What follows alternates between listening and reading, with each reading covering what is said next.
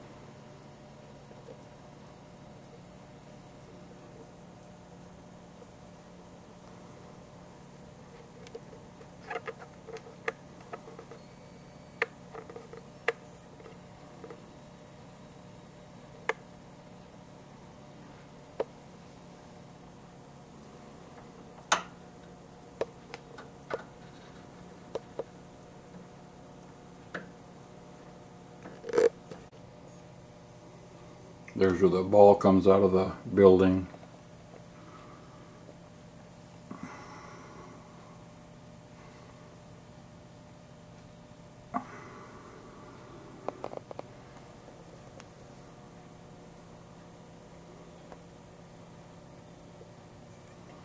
There's where the ball would come under the subway car and then out from the ramp down the side.